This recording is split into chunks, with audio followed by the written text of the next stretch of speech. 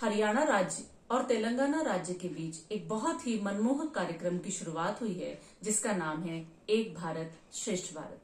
जैसा कि आप सभी जानते हैं, तेलंगाना राज्य की जो भाषा है, वो है तेलुगु।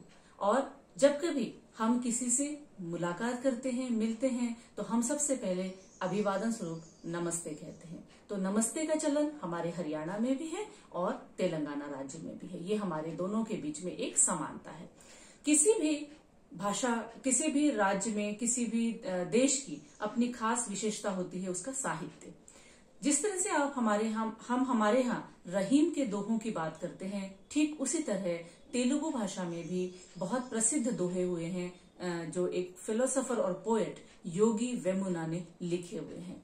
योगी वेमुना के जो दोहे हैं, वो लगभग पहली क्लास से लेकर तो बड़ी बड़ी क्लासेस तक मतलब कॉलेज लेवल तक उसको, उनको पढ़ाया जाता है।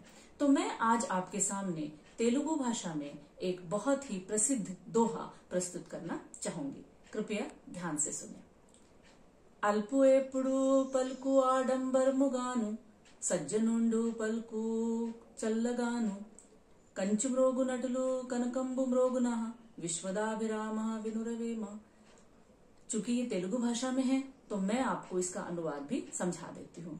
अल्पु एपुड़ू का मतलब है कि जिनको कम ज्ञान है। आडंबर मुगानु, जो आडंबर करते हैं, दिखावा करते हैं। सज्जन उंडू पलकु सज्जन से आपको पता लग रहा है, सज्जन व्यक्ति, शरीफ व्यक्ति, यानी ज्ञानवान व्यक्ति।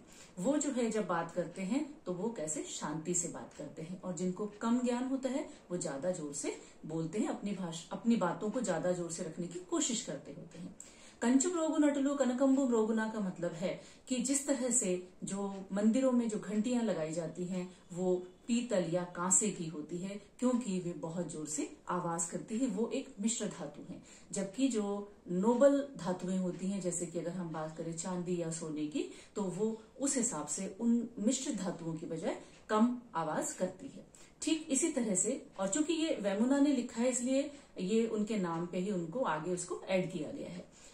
हमारे हिंदी में भी इसी तरह का एक दोहा प्रचलित है, इसी तरह की कहावत प्रचलित है कि अध जल गगरी छलकत जाए। मतलब हम ये कहते हैं कि जिसमें कम ज्ञान होता है, वो ज़्यादा उछलते हैं और जिनमें जो पूरे ज्ञानवान होते हैं, वो अपनी बातों को बहुत शांत तरीके से रखना जानते हैं।